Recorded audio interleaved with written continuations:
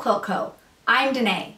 On this episode of Sew and Tale, I have my five favorite books that I listened to in November while sewing. First up, The Kind Worth Killing by Peter Swanson. It opens with Ted and Lily meeting on a red-eye flight from London to Boston.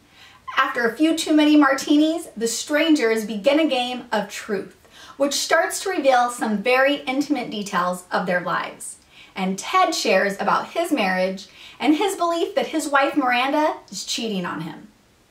As the game continues, Ted jokes that he could kill his wife for what she's done, to which Lily calmly replies, I'd like to help. Lily, as it turns out, holds firm to the belief that after all, aren't some people the kind worth killing? This book will keep you guessing and each twist and turn is better than the last. Four stars. Next is Black Cake by Charmaine Wilkerson.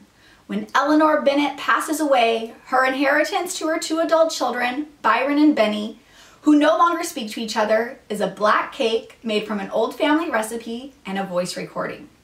Her message to her children is a heartbreaking story of a young woman who must escape her home under the suspicion of murder and the child she was forced to leave behind. Byron and Benny are left to piece together their mother's true past and find the sister they aren't sure they want. Five stars for this beautifully written story of a bewildering family history and the decisions people make when they feel like they have no other options. I've now read The 100 Years of Lenni and Margot by Marianne Cronin two times this year. I read it at the beginning of the year and absolutely loved it, and then read it again this last month for my book group. It's the heart-wrenching story of Lenni, a 17-year-old girl living in the terminal ward, and the friendship she strikes up at a hospital art class with 83-year-old Margot. Immediately, Lenni realizes their combined age is 100 years old, and from there, they take you along as they paint 100 paintings, one for each year of their combined lives. Through those paintings, they share the story of their lives with each other. It's a heart-wrenching story of friendship and love. Four and a half stars, I highly recommend. The Unsinkable Greta James by Jennifer E. Smith is a story about a daughter trying to make peace with her father after her mother's unexpected death. And Greta James isn't just any daughter. She happens to be an indie rock star who's finally playing the huge venues she once just dreamed of. Well, that was until she had a meltdown while performing right after her mother's death. Now, the father and daughter find themselves together on an Alaskan cruise that her mother had planned for her parents' 40th anniversary. On the ship, while attempting to build a better relationship with her dad, Greta also befriends a handsome guest lecturer who's having some personal troubles of his own. Four stars. This is a book that I think would make for an excellent book club discussion. The last book I have for today is The Book of Lost Names by Kristin Harmel. I had to take a break from World War II books for a minute because that felt like the only thing I was reading.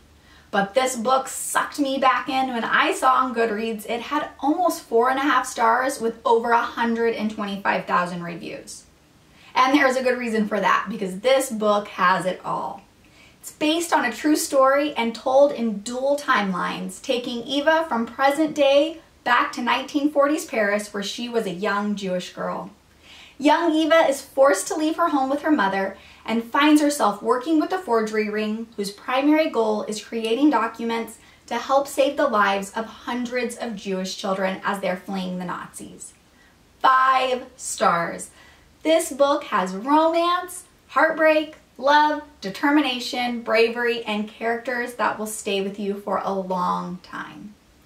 I would love to know what you thought of today's recommendations and also what you're currently reading. Leave me a comment below and be sure to like and subscribe to this channel for more book chats. Happy sewing and reading! See y'all next time.